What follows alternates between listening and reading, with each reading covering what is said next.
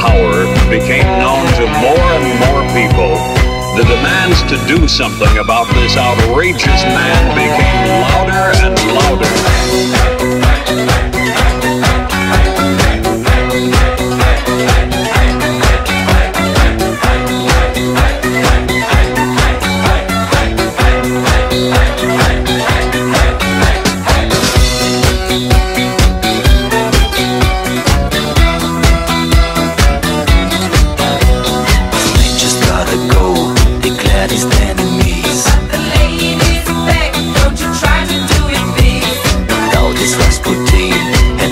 ain't no charms. So he was a room.